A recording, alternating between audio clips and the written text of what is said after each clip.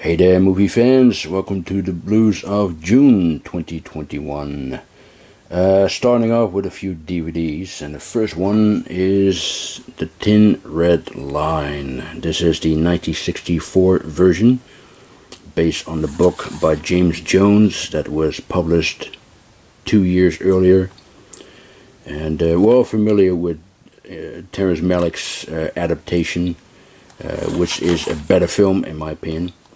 But this is still worth checking out with uh, Keir Dullea of uh, 2001 A Space Odyssey fame and Jack Warden of um, Problem Child fame. of, of course, he, he did many other films, but my first introduction to this actor was Problem Child. Uh, the next one is Twinky. Now, this is an unusual Charles Bronson movie with a controversial subject matter. Um, Bronson plays a man in his late 30s, and uh, Susan George plays a 15 going on 16 year old schoolgirl. And um, they fall in love with each other and they get married to each other.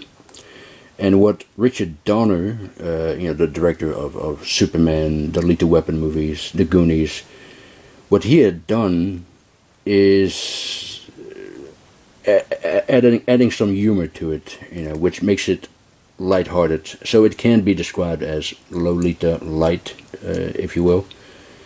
Um, it's not a bad movie, not bad at all. But the entire time I was thinking, yeah, this is this is wrong. And what makes it even more wrong is that it it really happened. You know, the, the screenwriter uh, Norman Norman Thaddeus Vane. Uh, he based his script on his own experiences. He was indeed married to a 16 year old girl. So it's not my kind of Bronson movie. However, this one is my kind of Bronson movie. Drum Beat, although I haven't seen it yet, but it is a western, and I do love my westerns, as you know. I was uh, unfamiliar with this um, with this uh, DVD uh, uh, media book from uh, Germany until my good buddy Jeff, aka 101 Bronson, showed it in in his in one of his videos and uh, I decided to uh, to get a copy myself. Here's uh, Alan Ladd, you know, of uh, Shame, Fame. Good actor, this one. Yeah, looking forward to uh, check this one out. Drum Beat. And I also picked up the Blu-rays of Farewell Friend and Rider on the Rain, uh, also with Bronson. I'm, I'm, I'm getting more Bronson movies uh, and I'm planning to do a video of my entire Charles Bronson collection. And if all goes well, I will upload that video on November 3 of this year. Because on that day, uh, it will be Bronson's 100th birthday. So what better way to uh, to celebrate that than to do a video of my you know Bronson collection.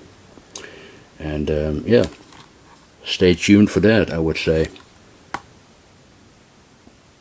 Next is King Kong Dino De Laurentiis 1976 remake which at the time was the most expensive film ever made and it has the widest theatrical release. Um, it's not the best King Kong movie ever made, but it's the first King Kong movie I have ever seen. So I've always had a, a soft spot for it.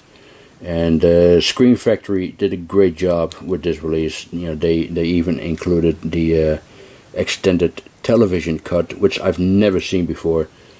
So I'm definitely looking forward to it.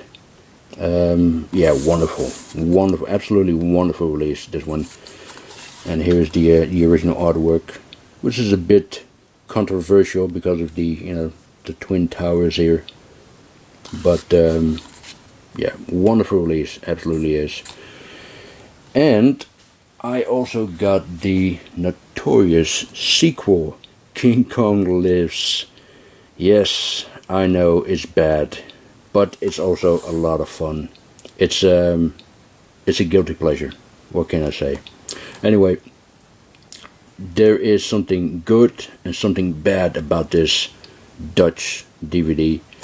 Uh, good thing is that it's one of a few that has Dolby Digital 5.1 uh, uh, audio track. Bad thing is it's um, 4x3 full screen and that is the incorrect aspect ratio. It should have been 2x39 widescreen I believe. Uh, but I got it for, for dirt cheap so I cannot really complain. Uh, I do hope, however, that it's going to be released on Blu-ray someday. And speaking of the eighth wonder of the world, I purchased the 4K Blue of Godzilla vs. Kong. Um, I really enjoyed it. I, I kind of knew that I was going to enjoy it because I enjoyed the previous uh, MonsterVerse movies as well. And um, the fight scenes between you know the, these two uh, uh, icons are the highlights of the movie, uh, especially the one in Hong Kong. That was absolutely brilliant, and um, yeah, really enjoyed it. By the way, I have been thinking of doing a video of my King Kong collection. You guys want to see that? Yeah, let me know below in the uh, comment section uh, if you want to if you want me to do a video of my King Kong collection. Moving on to the Boston Strangler, uh, I was really surprised by Tony Curtis's uh, performance uh, the first time I saw it. Uh, he doesn't appear in the film until an hour or so, but he left quite an impression. Uh, this is one of the best performances, if not the best performance of his career. Now, of course, he played serious roles before, like in um, Sweet Smell of Success and uh, Defiant Ones. But I always saw him as a comedic actor, and perhaps that's that's the reason why I uh, was so surprised by him uh, um, as um, as the Boston Strangler. Uh, brilliantly directed by Richard Fleischer. He shot it in a semi-documentary style, which works very well even today. And uh, I, I love how he used split screen, you know, the the same technique that Brian De Palma often used in uh, in his films. But um, yeah, this is a this is outstanding film, The Boston Strangler, really good.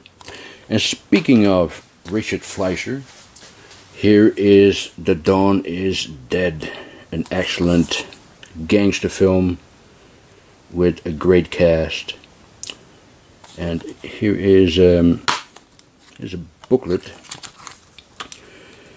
with two wonderful essays. Uh, one about the director, Richard Fleischer. Well, actually, it's, it's it's more about the crime films that he has directed. You can see them here.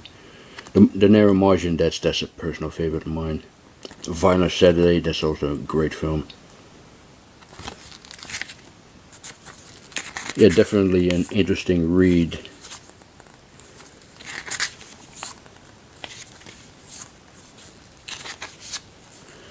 The other essay is about 1970s gangster films.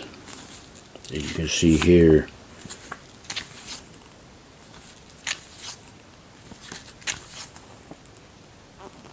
Yeah. The, the late, great Robert Forster. Yep. Excellent release and excellent film. The Don is Dead. Next is Explorers. Um, you know, I, I still think this is a wonderful movie. It is, however, my least favorite 80s movie where uh, ordinary kids experience extraordinary adventures. You know, uh, the Goonies, the Monster Squad. uh, E.T., you know, those kind of movies. And the last 30 minutes or so are silly and, and childish and uh, cartoonesque. But I don't mind it, really. I, I never really minded. Um, I've always liked Explorers, and, and, Joe Dante has always been one of my favorite directors. I um, devoured his movies when I was uh, growing up, you know. Um, loved the music by Jerry Goldsmith, and um, the makeup by um, Rob Bottin is, is fantastic. Um, yeah, here's a, here's a young Ethan Hawke in his first movie, and this was also the first movie of River Phoenix, uh, who left us way too soon. But uh, I'm, I'm happy that uh, Shout put this out on Blu-ray.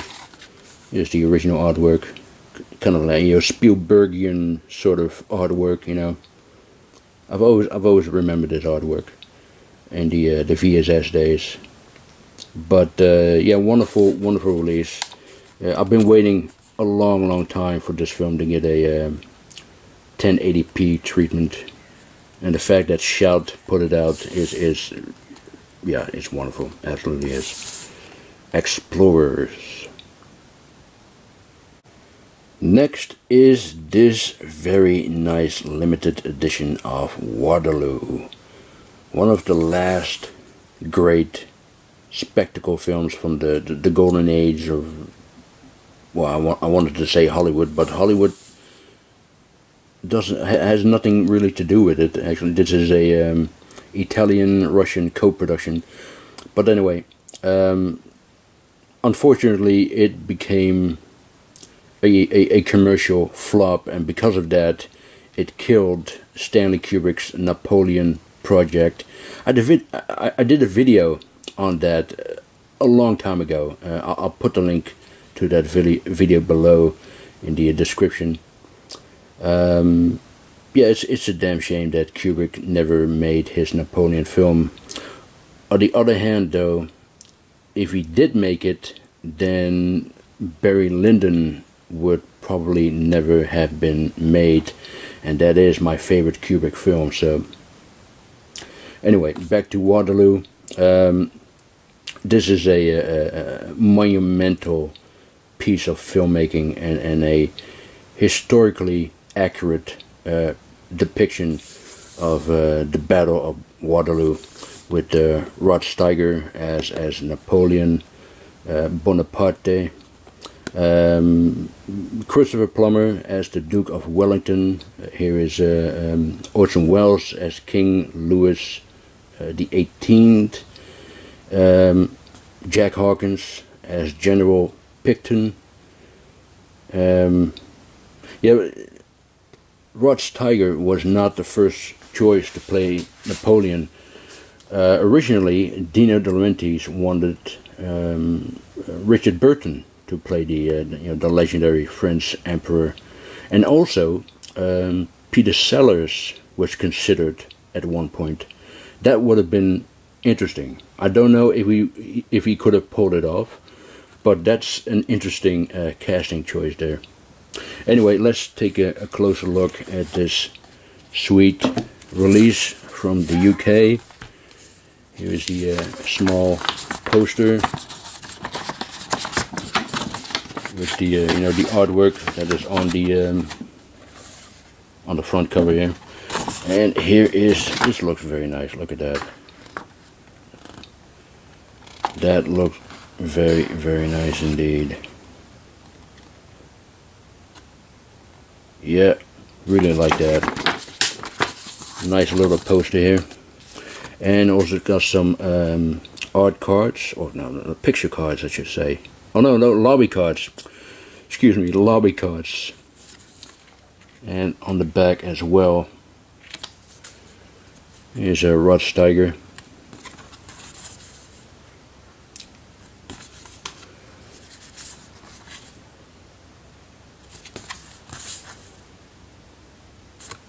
yeah and of course you got the booklet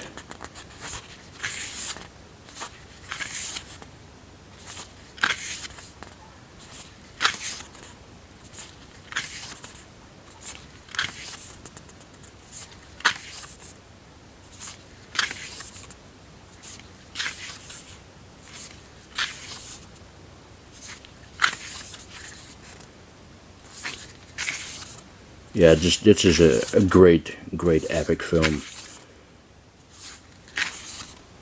by uh, here, here is Dino De Laurentiis, legendary Italian producer, and this is director um, Sergei uh, uh, uh, who also did um, the mother of all epic films, War and Peace. You know, the, the seven-hour long epic film. Yeah, very, very nice. And of course, you have the Blu-ray here. With the, uh, with the different cover there. Yeah, very, very nice release of an epic film, Waterloo. Next is volume 6 of the Hammer collection from the Indicator, Night Shadows it's called. And it also comes with this poster here, a double-sided poster. This is from a Nightmare and on the other side is The Phantom of the Opera. Very nice. Let's take a look, a closer look at this um, wonderful release. Of course, I got the uh, the previous five releases as well, the previous five box sets. So I had to get this one too. Anyway, it contains uh, Nightmare. And here is the other artwork. Oh, by the way, uh, it looks like it has two discs. It only has one disc, and this counts for every uh, each and every one of these cases.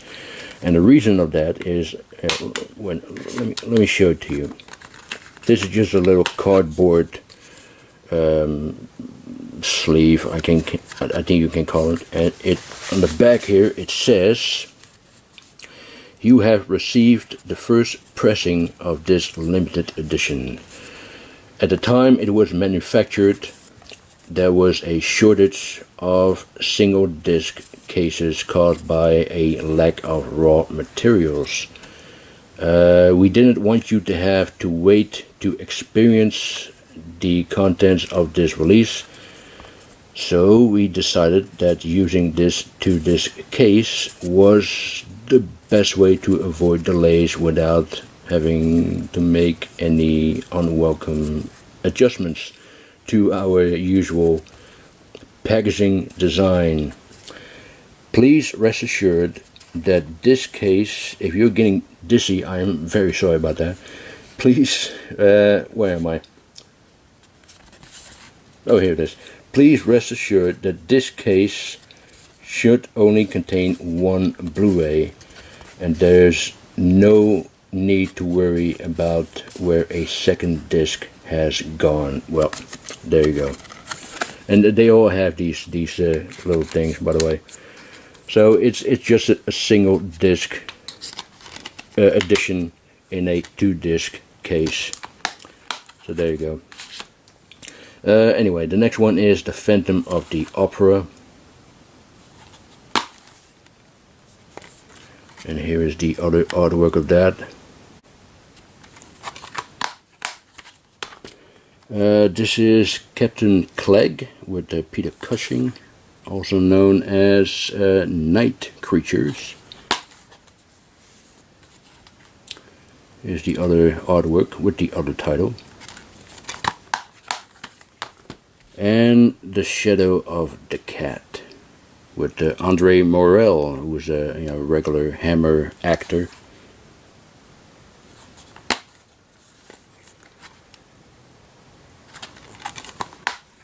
Yeah, very, very nice release from uh, Indicator. The Hammer Volume 6 box set. And I also got this title from Indicator. Uh, Indicator was having a little sale on their website and uh, I only grabbed this one, I Monster from uh, Amicus. This is a retelling of the uh, Dr. Jekyll and Mr. Hyde story with uh, Christopher Lee as the uh, protagonist slash antagonist and also with Peter Cushing. Um, it's it's it's not my favorite Jekyll and Hyde movie, but it's it's, it's always a joy to watch. You know these two gentlemen, uh, Sir Christopher Lee and, and Peter Cushing. Yeah, I I watched everything with these guys in. And speaking of Sir Christopher Lee, check out this amazing box set from uh, Severin. This is the Eurocrypt of Christopher Lee. And my goodness, this is absolutely fantastic. Absolutely fantastic. You know, it's it's releases like this that I love being a movie fan and a movie collector. But um, yeah, let's take a look at the contents here of this wonderful set. Um, these are all European uh, films that Christopher Lee has made. I believe this is a is it an Italian film? Yeah, Italian Italian horror. The original uncut version of Castle of the Living Dead. It's also come with the uh, the soundtrack here.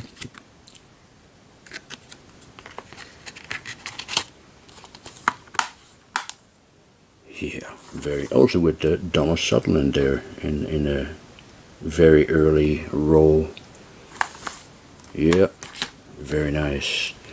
Challenge the Devil. This is also Italian.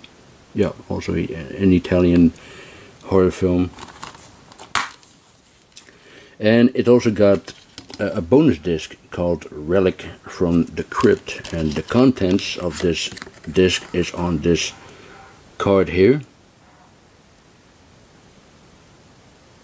Yeah, you can pause it and, and read it uh, if you want to.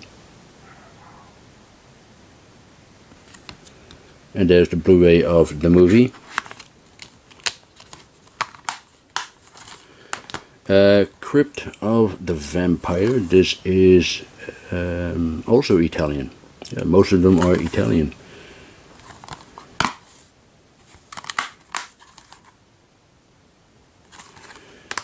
Uh, this one, however, is from Germany. Sherlock Holmes and the Deadly Necklace, uh, directed by Terence Fisher. Uh, you know, a, a familiar uh, um, Hammer director, with Christopher Lee as Sherlock Holmes.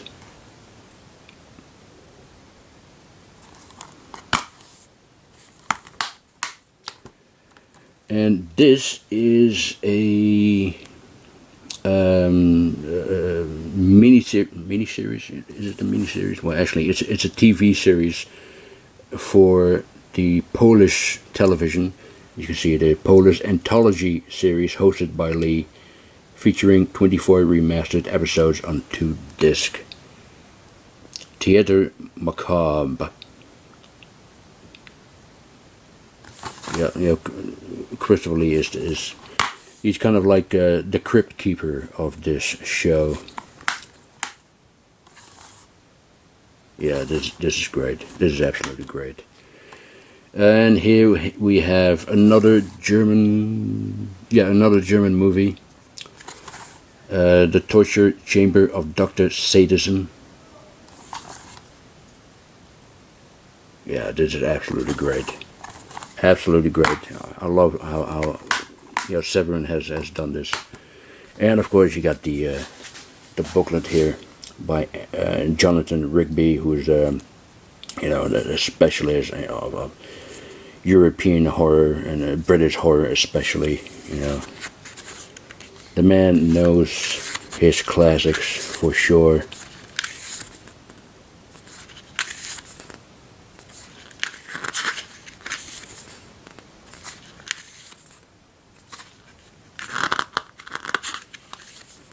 A great top quality booklet here about uh, Christopher Lee and his uh, in his films.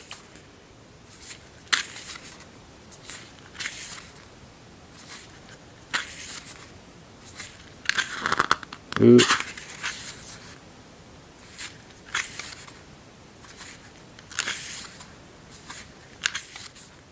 Yeah, this is very nice. Very nice indeed. Here's, here's uh, Lee as uh, Fu Manchu. And uh, Rasputin, the Mad Monk. The man has done so many, you know, legendary characters. Dracula, of course, the Mummy. He's one of a few actors who has an incredible, impressive uh, uh, resume and, and filmography, you know.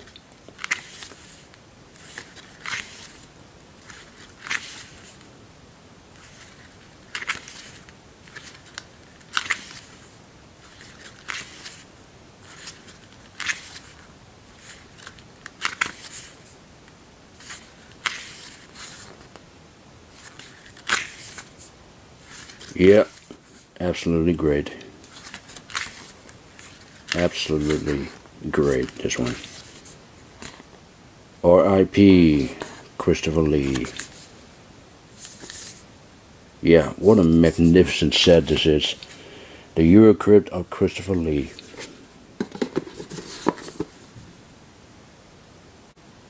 And last but not least, I got a few uh, additions from Arrow Video, starting off with Irezumi, uh, a Japanese period film, uh, also known as The Spider Tattoo. Uh, this is a blind buy, but uh, it, it, definitely looks interesting. Um, here's the original artwork there. Know, it, it looks, visually it looks quite interesting and um, it was shot entirely in a studio which I absolutely do not mind if you know if it's done right then it's beautiful to look at you know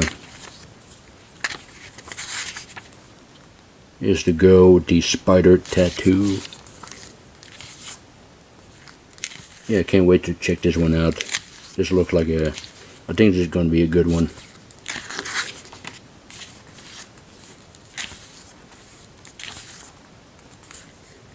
Yep. Yeah. Irezumi.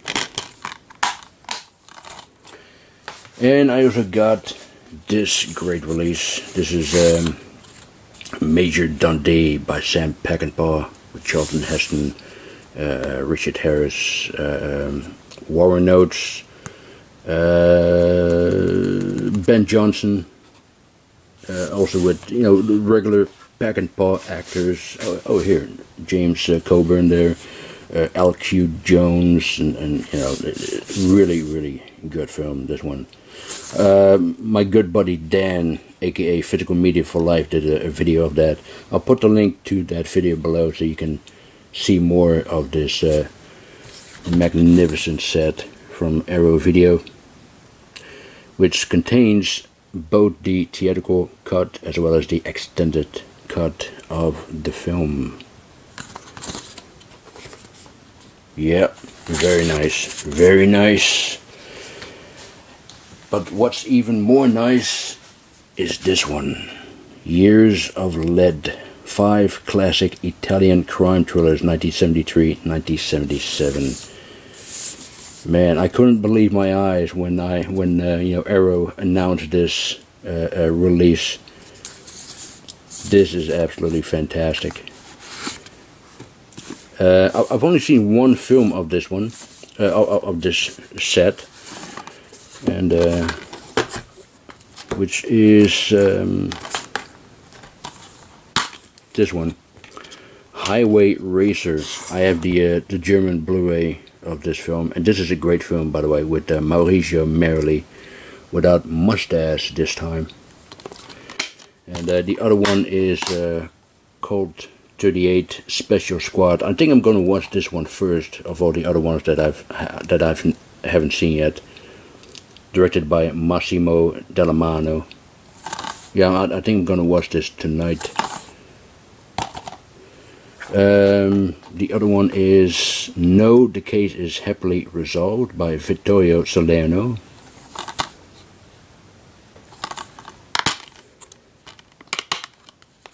and there's an artwork of all the films you know the, the, all the films together as you can see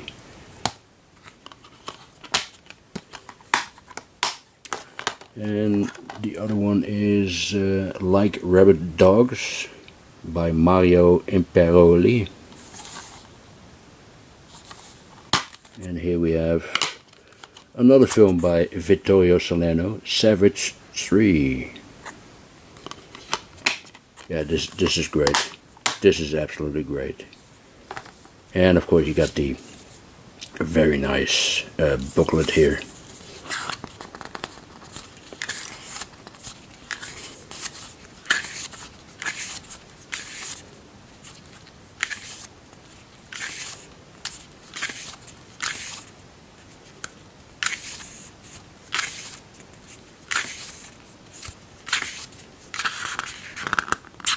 And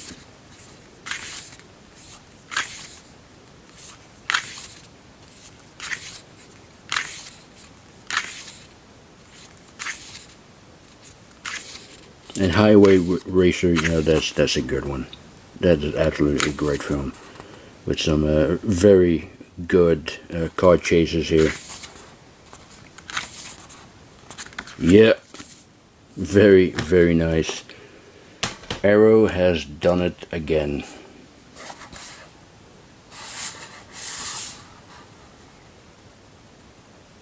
Yeah, great, absolutely great.